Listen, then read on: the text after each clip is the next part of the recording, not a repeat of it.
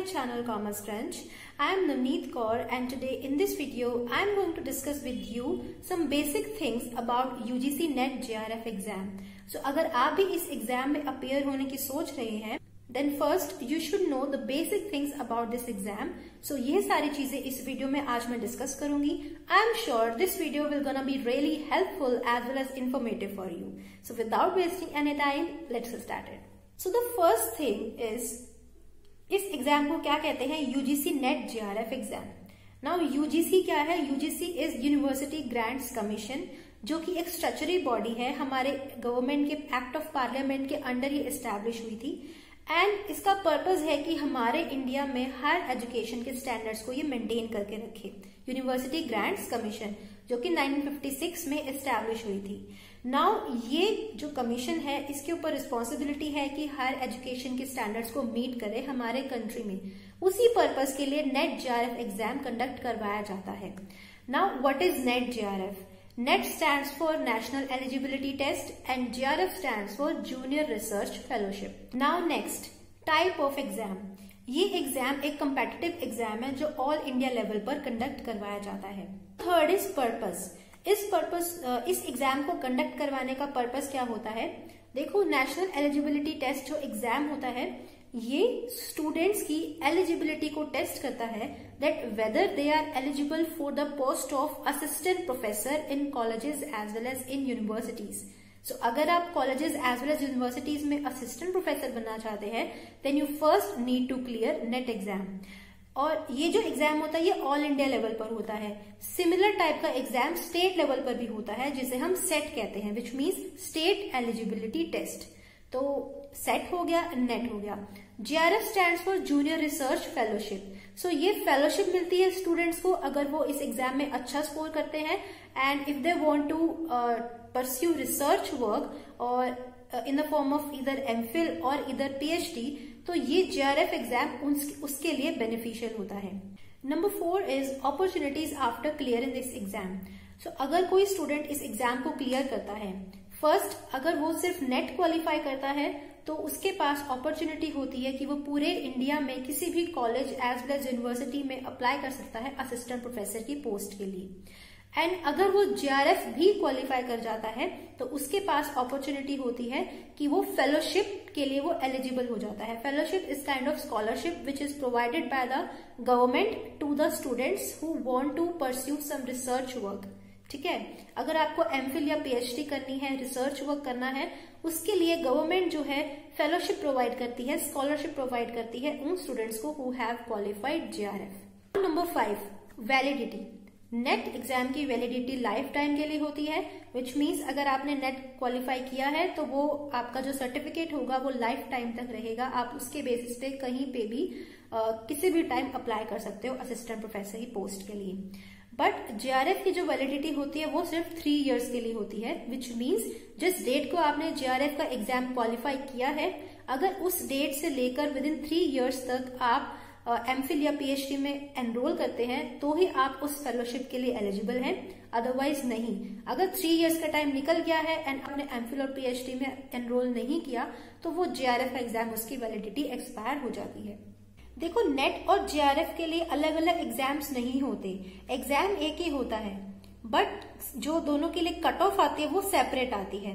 पहले cut off आती है नेट की, उसके बाद कट ऑफ़ निकलती है जेआरएफ की। अराउंड टेन लाख स्टूडेंट्स हैं जो इस एग्ज़ाम में अपियर होते हैं इस एग्ज़ाम के लिए अप्लाई करते हैं sorry out of them seven to eight lakh students appear in the exam and उनमें से सिर्फ़ सिक्स परसेंट ही नेट के लिए क्वालिफाई करते हैं एंड उनमें से हार्डली वन और टू परसेंट ही जेआरएफ के लिए क्वालिफाई करते हैं. सो so, अगर uh, मैं दिसंबर 2019 की बात करूँ तो उसमें seven lakh around seven lakh students से जो नेट के लिए अपेयर हुए थे and forty to fifty thousand qualify for NET and four to five thousand qualified for JRF तो अगर आपने नेट की कट ऑफ़ क्रॉस की है तो आपका सिर्फ़ नेट क्लियर हुआ है which means you are eligible only for the post of assistant professor and अगर आपने जेआरएफ की कट ऑफ़ भी क्रॉस कर दी है it means you are eligible both for the assistant professor as well as for the fellowship for your research work means आपका NET भी हो गया है जेआरएफ भी हो गया है। तो नेट और जेआरएफ की जो कट ऑफ़ होती है उसमें नाइन टू टेन परसेंट का गैप होता है। अगर मैं कॉमर्स सब्जेक्ट की बात करूँ तो नेट की कट ऑफ़ जो होती है वो अराउंड 55 टू 56 परसेंट जाती है। एंड जेआरएफ की कट ऑफ़ जो होती है वो 63 टू 64 परसेंट ऐसे जाती है। सो so, इतना गैप होता है दोनों के कट ऑफ़ में। तो अगर आपने ज़्यादा अच्छा स्कोर किया है तो आपका जेआरएफ भी निकल जाता है। तो इस तरह से नेट और जेआरएफ की कट ऑफ़ आती है। दोनों एग्ज़ाम डिफरेंट नहीं है। एग्ज़ाम एक ही होता है। Now next is how many times this exam is conducted so basically ये एग्ज़ाम आपका साल में दो बार कंडक्ट होता है, एक जून जुलाई सेशन में एंड एक दिसंबर सेशन में। अभी इस साल जो है वो एग्ज़ाम अभी तक ये कंडक्ट नहीं हुआ है बिकॉज़ पैंडमिक की वजह से जो इसकी डेट है वो और एक्सटेंड हो गई है एंड अभी तक डेट फाइनल डेट नहीं आई कि ये एग्ज़ाम कब कंडक्ट होगा। क्लियर सो ये दो बार साल में कंडक्ट होता है एग्ज़ाम सो स्टूडेंट्स के पास अपॉर्चुनिटी होती है कि वो दो बार इस एग्ज़ाम में अपियर हो सकते हैं. नाउ कंडक्टिंग एजेंसी इस एग्ज़ाम को कंडक्ट कौन करता है? देखो टिल जुलाई 2018 नेट का एग्ज़ाम सीबीएसई कंडक्ट करता था on the behalf of UGC ठीक है? बट फ्रॉम दिसंबर 2018 ये एग्ज़ाम अब एनटीए कंडक्ट करता है. That is national testing agency बाकी जो कंपेटेटिव एग्ज़ाम्स हैं, जैसे कि नीट जेईई इस टाइप के जो कंपेटेटिव एग्ज़ाम्स है ये भी पहले सीबीएसई ही कंडक्ट करवाता था। बट सीबीएसई ने अब ये सारी रिस्पॉन्सिबिलिटी अब उसके ऊपर से हट गई है। अब ये सारी रिस्पॉन्सिबिलिटी शिफ्ट हो गई है टूवर्ड्स एनटीए तो एनटीए ये वाले सारे कंपेटेटिव एग्ज़ाम्स कंडक्ट करवाता है। Now next is educational qualification तो क्या एजुकेशनल क्वालिफिकेशन रिक्वायर्ड है इस एग्ज़ाम के लिए? सो so, आपके पास मास्टर्स की डिग्री होनी चाहिए with at least 55 percent marks ये जनरल कैटेगरी के स्टूडेंट्स के लिए है. एंड जो स्टूडेंट्स रिज़र्व कैटेगरी को बिलोंग करते हैं, जैसे कि S C S T OBC उनके लिए ये क्राइटेरिया है 50 परसेंट मार्क्स तक. तो उनकी अगर masters at least 50 percent marks से कंप्लीट हुई है then they are eligible for appearing in this exam now age limit NET अगर आप नेट के लिए सिर्फ़ फॉर्म फिल कर रहे हो तो उसके लिए कोई भी अपर एज लिमिट नहीं है. बट अगर आप NET as well as JRF दोनों के लिए ही अप्लाई कर रहे हो मीन्स फॉर्म में आप दोनों की, दोनों ही सिलेक्ट करते हो, उस केस में आपकी जो अपर एज लिमिट है वो थर्टी इयर्स की है विच मीन्स थर्टी इयर्स से ज़्यादा की अगर आपकी एज है तो आप जेआरएफ के लिए अप्लाई नहीं कर सकते हो। बट ये कंडीशन रिज़र्व कैटेगरी में अप्लाई नहीं होती। रिज़र्व कैटेगरी को फाइव इयर्स की रिलैक्सेशन मिलती है including S C S T OBC category PWD category से बिलोंग करते हैं या फिर जो वुमेन कैंडिडेट्स हैं, उनके लिए भी फाइव इयर्स की रिलैक्सेशन है विच मीन्स उनके लिए जेआरएफ की जो अपर एज लिमिट है, वो थर्टी फाइव ईयर्स की है। नाउ मोड ऑफ़ एग्जामिनेशन तो ये एग्जामिनेशन जो है, पहले ऑफलाइन मोड में होता था, जब तक इस एग्ज़ाम को सीबीएसई कंडक्ट करवाता था। दैट इज़ टिल जुलाई 2018 तो फ्रॉम दिसंबर 2018 ये एग्ज़ाम ऑनलाइन मोड में होता है। कंप्यूटर स्क्रीन पे कंप्यूटर बेस्ड टेस्ट है ये सीबीटी जिसे बोलते हैं। तो कंप्यूटर बेस्ड टेस्ट अब ये होता है, ऑनलाइन फॉर्म में होता है। इस एग्ज़ाम का जो फॉर्म फिल करोगे, वो भी आप ऑनलाइन ऑनलाइन मोड से ही करोगे एज वेल एज जो इस एग्ज़ाम का आपका सर्टिफिकेट आएगा, वो भी आपका ई सर्टिफिकेट आएगा। ठीक है तो आप जिसको बाद में प्रिंट आउट निकलवा के रख सकते हो। तो टोटली सब कुछ ऑनलाइन मोड हो गया है। नाउ वेरी इंपॉर्टेंट पैटर्न और स्ट्रक्चर ऑफ़ द एग्ज़ाम तो इस एग्ज़ाम का क्या स्ट्रक्चर है? पैटर्न क्या है पूरा?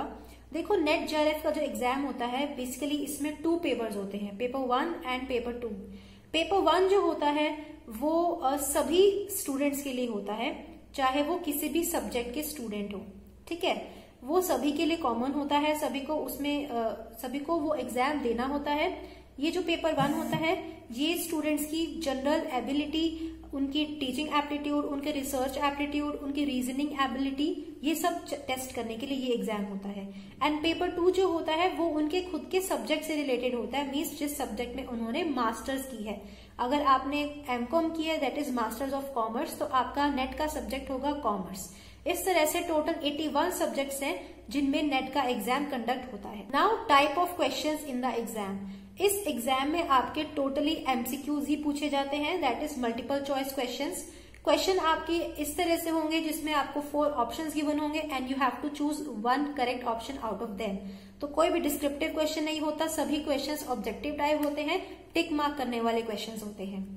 नाउ मार्किंग स्कीम अब मार्किंग स्कीम कैसी है? पेपर वन जो होता है, वो हंड्रेड मार्क्स का होता है, जिसमें फिफ्टी क्वेश्चन होते हैं टू मार्क्स ईच तो 50 इंटू टू हंड्रेड मार्क्स का टोटल पेपर वन होता है एंड पेपर टू जो आपके खुद के सब्जेक्ट से रिलेटेड होता है, वो 200 मार्क्स का होता है, जिसमें 100 क्वेश्चन होते हैं।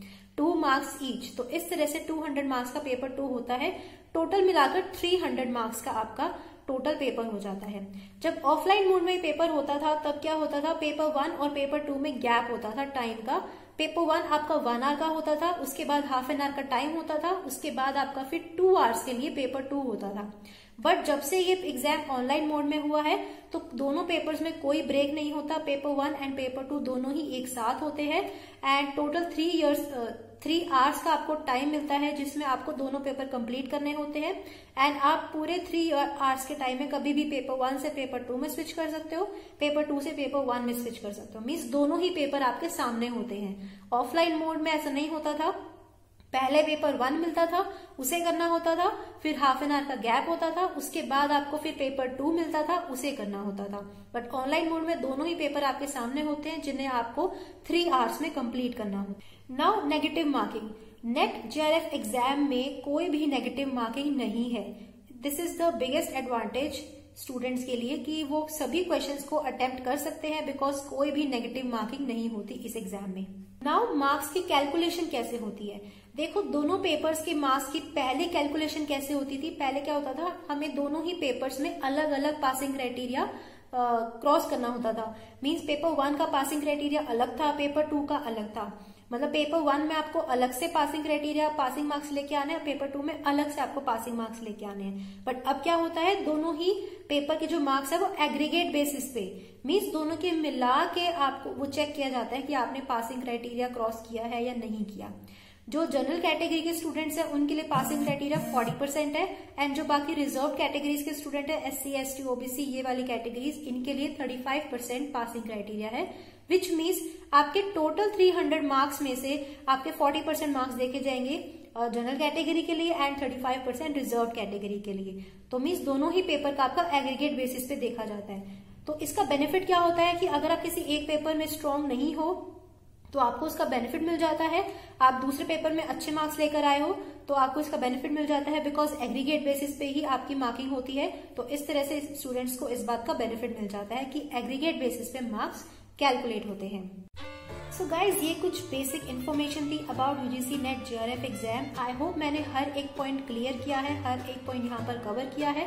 स्टिल अगर आपको किसी बात को लेकर कोई डाउट है yes you can let me know in the comment section below so I hope ये वीडियो आपके लिए यूजफुल थी एज वेल एज इन्फॉर्मेटिव थी. So I be back with a very new and interesting topic in future till then take care of your self and bye